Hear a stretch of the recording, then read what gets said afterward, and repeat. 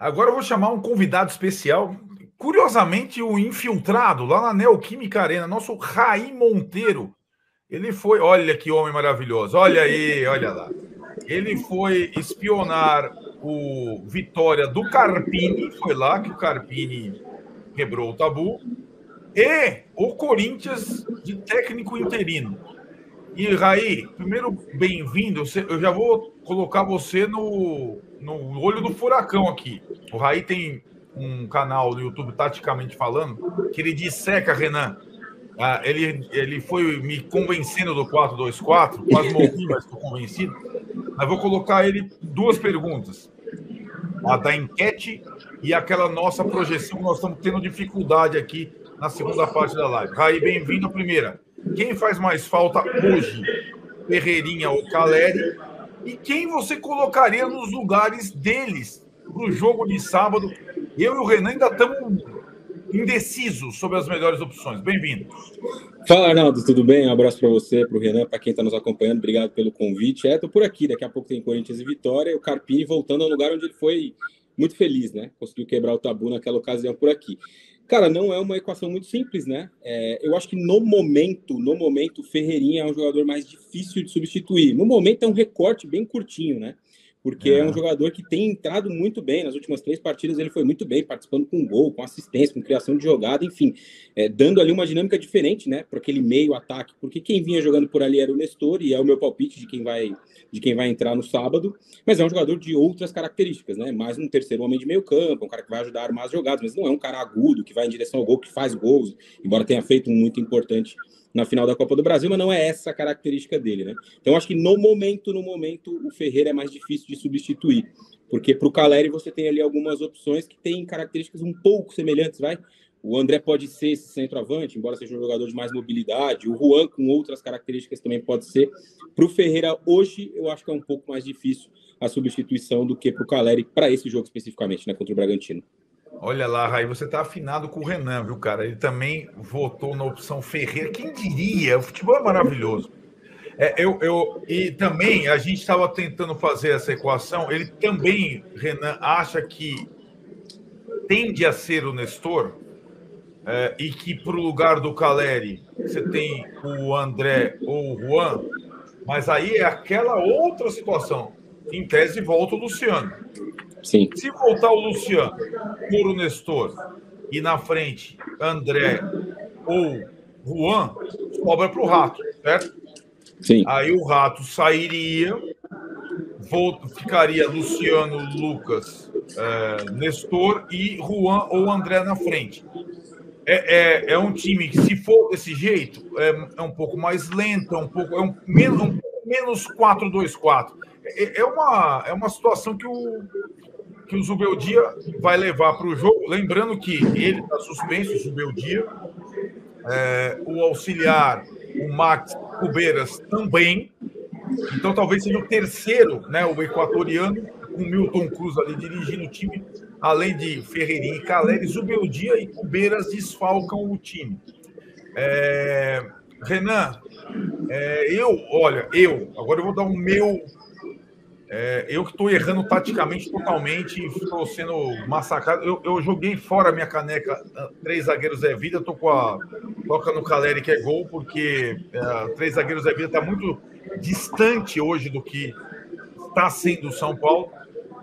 Eu, olha, olha, a minha, isso é o meu gosto, vocês podem me bater, tá? É, eu aceito. Eu jogaria com André, Juan, Luciano e Lucas. Seria o meu quarteto. Certo?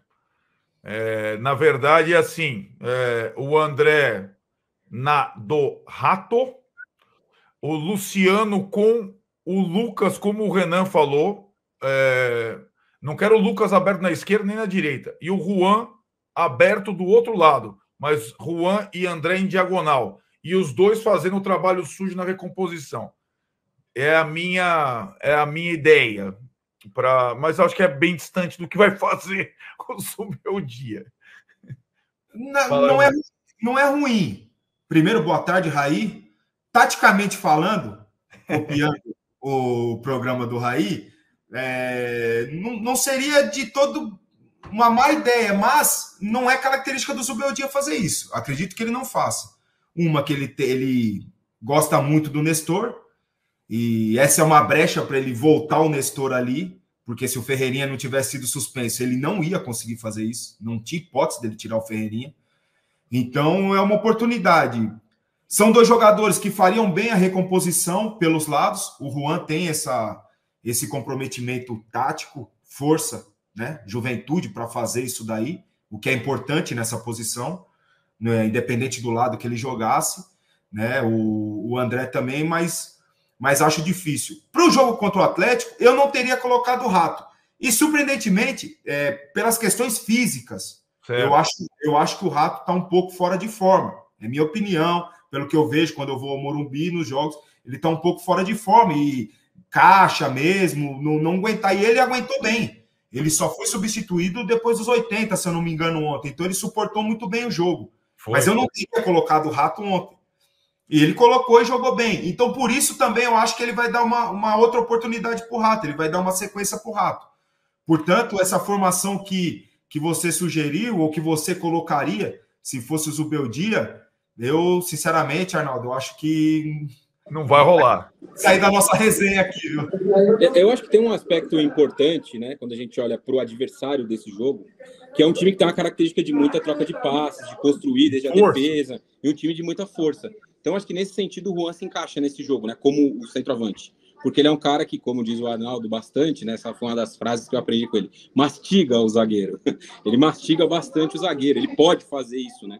E o Nestor também daria esse peso maior ali no meio, de ser um cara para pressionar, para dividir bola, para duelar pela posse, porque é um jogo que tem muito esse componente, né? Do outro lado, você tem um time que tem uma questão inegociável que é ter a bola de pressionar alto, de gostar de sair jogando desde a defesa. Então, ter jogadores com essa capacidade de pressão, eu acho que vai fazer muita diferença e vai balizar um pouco a ideia do Zubeldia na montagem do time também, acredito eu, pelo menos. Então, dupla, eu, Raí, na live passada aqui, eu estava com o Renan e com o Wilsinho, e era a, as vésperas de São Paulo e Criciúma, antes das mudanças todas, antes do 4-2-4. E tinham me soprado que talvez fosse o Ferreira pro jogo. Eu falei, Ferreira, cara, titular.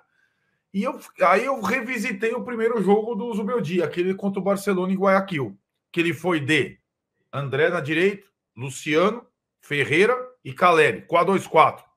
Eu falei, olha. E o Lucas ainda. Sem o Lucas ainda. Eu falei, o cara vai para o 4-2-4 e foi.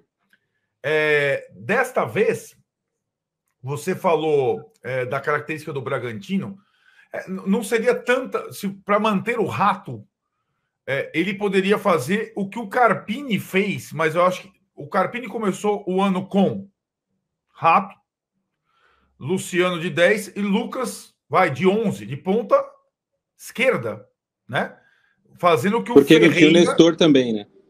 Não tinha o Nestor também, é isso aí. Então, o Carpini começou com Rato, Luciano, Lucas e Caleri na frente. Mas nenhuma vez com o Zubeldia ainda o Lucas jogou pela esquerda. E o Lucas pela esquerda, lá o lateral direito do Braga, quem é? O Natan, conhecemos bem. Cara, desse, o Lucas vai, vai voltar no Natan, até lá, como o Ferreira estava voltando. Essa questão, né, a recomposição do Ferreira é, foi tão elogiada pelo Zubeldia. É difícil fazer o que o Ferreira estava fazendo. Por isso que vocês estão na enquete com, com, é, com assertividade aqui, porque ele estava atacando pouco, como poucos e defendendo como poucos. Eu estava falando para o Renan aí, o Zubeldia falou: Ferreira é com balão, sem balão, com balão, sem balão. E ontem ele soltou um céspede, que é gramado, falta céspede aos, aos árbitros. Né? Você gostou? O Raí fica no taticamente falando, anotando as, as expressões do, do. Qual?